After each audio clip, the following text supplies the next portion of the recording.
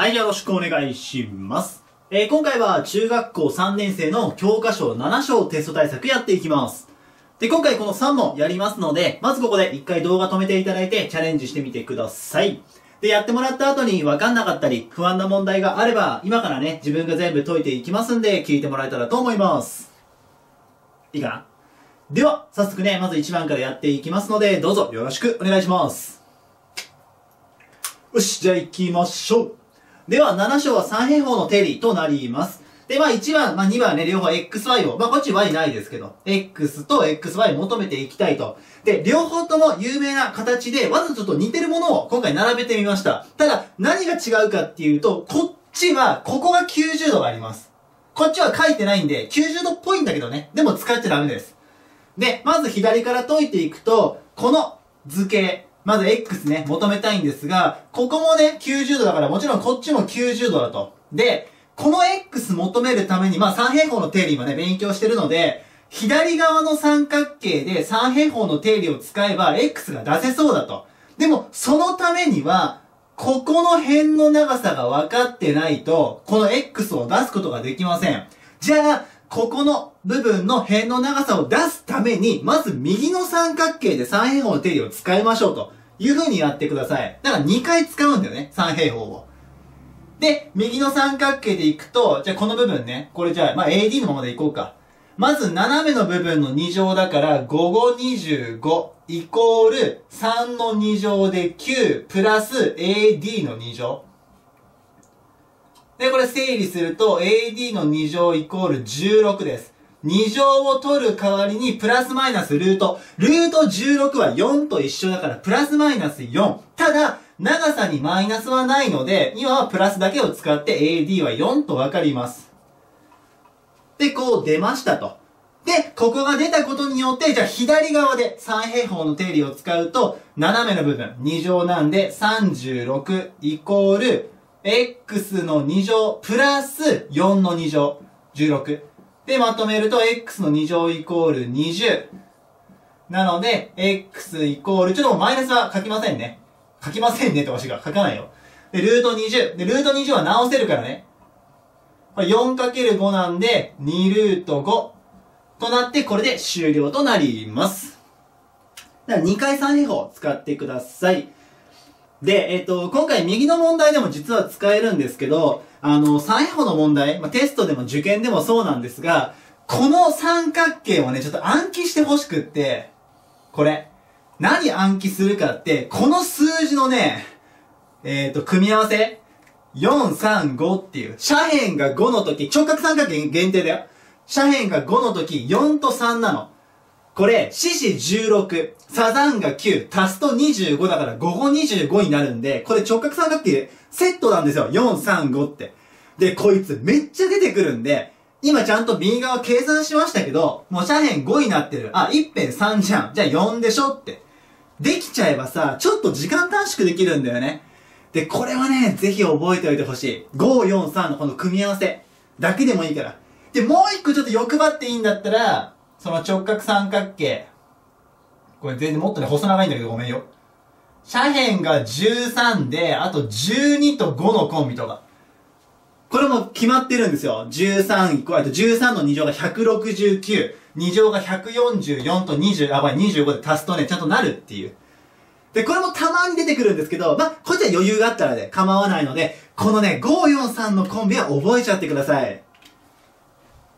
で、右側なんですけど、右側は2つ出します。xy。で、同じように出しゃいいんじゃねえのって思うし、しかも、右側はね、5が斜辺になってる。で、4なんだよ。じゃあここいくつって3だよね。さっき言ったように。まあもちろん三平方を使ってもらっても構わないんですが、ここは3だと。あ、じゃあさっきと同じようにやればいいんじゃねと思うんですが、こっち、2つ長さがわかんないんで、三平方を使っても解けないんですよ。普通にやっても。じゃあどうするってなった時に、これね、えっと、もちろんこっちの図形の形もすごく出てくるんですが、これちょっと有名で覚えてほしくって、水線下ろしてきて、ここ直角なってるじゃん。それプラス、ここが直角になってる時、いい？なってる時、左の三角形も、右の三角形も、全体の大きな三角形も、全部相似です、こいつ。三つ。全部相似になる。だから、掃除を使って解いていきます、今から。で、どうやるかっていうと、今、左の三角形と右の三角形で解いていくんだけど、ちょっと並べるね。左の三角形、よいしょって起こしましょうか。あの、ああ、ちょっと形をね、並べた方がわかりやすいんで。直角にして、よいしょってしてっから、えっ、と、D に、B で、A かな？いいかな？この三角形をこう持ってきた感じ。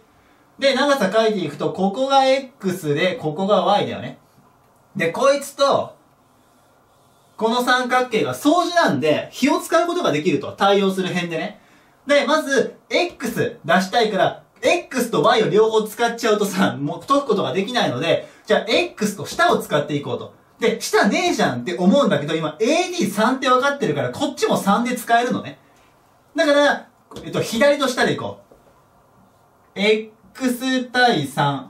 左と下行ったんで、こっちも左と下行くと、3対4ってできる。で、中中外外で計算すれば、こうなって、x イコール4分の9と、ふがわかります。ちょっとごめん。なんかね、なんとなく汚い。待ってね。ぐしゃってなっちゃった。4分の9と。で、次に y 出したいんで、まあもちろん、えっと、左と右、x も出てるからさ、使ってもいいんですけど、分数ちょっとね、できれば外してほしいので、右と下でいきましょう。だから、y 対3ね。右と下の順番でいったから、右と下、5対4です。で、これもなかなか外外でやれば、まあ外から行きますけど、こうなると。だから、y イコール4分の15となって、で、これで x も y も終了となります。で、ちょっと証明の話になってしまうので、具体、あの、なんだ、具体的にはやらないんですけど、なんで左と右、これが相似かっていうと、相似って2組の角度同じだったら、えっと、しょうえっと相似いけるじゃないですか。で、まず、左も右も90度、両方使ってるんで、これが1組ね、まず。で、どっち使っても構わないんですけど、じゃあ、こことここが同じ角度っていうためには、まず、ここって、このね、この丸って、90度から、この×の部分引いたものだよね。90度から右側取りゃいいからさ。ここは90度引く×だと。で、こいつも、この三角形で考えたときに、ここで90度使ってるから、三角形って全部で180だからさ、90使えば残りは90じゃん。この二つで。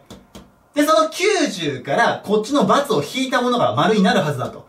だから、両方とも90度引く×で同じになるんで、だから二組の角度同じ。つまり相似だよねっていうことができます。いいかな？似てる図形なんだけど、解き方のアプローチが全く違うので、ここね、両方、ぜひ、ね、解けるようにしてください。で、ラストがですね、三角定規2つ重ねましたと。じゃあ重なった部分、あの青のとこね、あの面積求めに行きましょうと。ごめんね。いう問題です。では、三角定規を使ってるので、えっ、と、1対1対ルート2とか、1対2対ルート3、ちょっと書きましょうか。ちょっと動画長くなってごめんね。あの、細長い方。90と60と30のやつ。が、1対、間違った。2対、ルート3、辺の比がね。で、もう一個の直角二等辺、両方とも45のやつは、えっ、ー、と、1対1対ルート2だと。これ絶対暗記ね。まあ、辺の比が決まってますと。まあ、それ使っていきたいなってとこなんですが、青の結局面積を出したいんで、これまあ、底辺の高さが分かればいいやと。で、まず下から行きましょう。ここね。ここ底辺。で、ここどう出すかっていうと、こっち側の三角形使っていきましょう。ここ、12って出てるじゃん。じゃあ、下の部分はって言った時に、ルート2対1が使えるんで、じゃあこれ X にしようか。ルート2対1、左上対下ね。をやると、左上対下なんで、12対 X とこうなります。で、なかなか外外やると、ルート 2x イコール12。ちょっとルートで割るからめんどくさいんだけどね。ルート2分の12になる。で、まあ、有理化する必要があるので、分母分子両方にルート2をかけます。有理化ね。こうやって。で、ルートっていうのは同じものをかけると、ルートが外れる。つまり2になる。で、2になって、12と約分するから、6ルート2になります。これ。まず底辺の部分ね。いいかな？で、次に、ここなんだけど、多分ここ一瞬ちょっとこれ迷うんだよね。ここ、じゃあ Y にしようか。高さどうするかなっていう。で、これどうするかっていうと、今、青の三角形あるじゃん。求めたいやつ。あいつって、ここの角度同じく60度なんです。なぜかっていうと、この右側の縦の棒とここの縦の棒って平行でしょ？平行だからこれ同位角なんだよね。だからもちろんこっち側も60度。つまり、青の三角形もこの三角定規と同じになってる。尖ってるとこ30度同じだしね。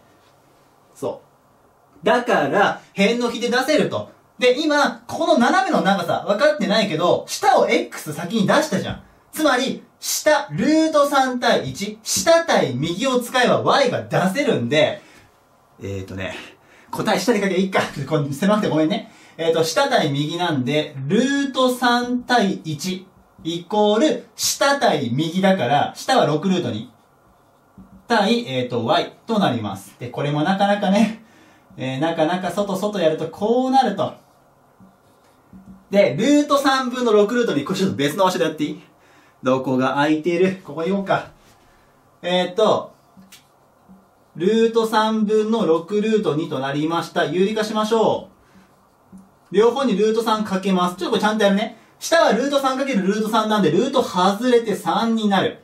6、ルートの中身同士、掛け算できるから、ルート6。外の世界同士で約分ね。外の世界とルートの中の世界は約分できないので、だから2ルート6となりましたと、y はね。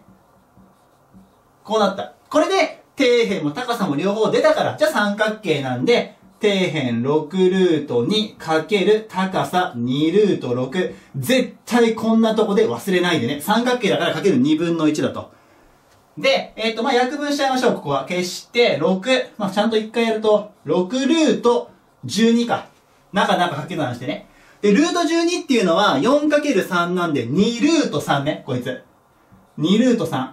だから 6×2 で12ルート3。これが答えになります。たまにですね、これ直すときに2ルート3って気づくと、6たす2で8ルート3で間違える子がいるんだけど、気をつけてね。これ6とルート12掛け算で繋がってるから、6×2 ルート3なんで12ルート3になりますので、まあ、細かいとこですけど、ぜひね、注意してやってみてください。では、今回はね、この3問やらせていただきました。今回の授業はこれで終わります。以上です。ありがとうございました。最後まで授業を聞いてくれてありがとうございました。え今表示されている動画や再生リストの方から他の勉強内容だったり、あとはテーマを決めて喋ったものに飛ぶこともできますので、よかったらそちらも見てみてください。また、チャンネル登録や高評価していただけると励みになりますので、よかったらよろしくお願いします。では、またね、次回の動画で会いましょう。お疲れ様でした。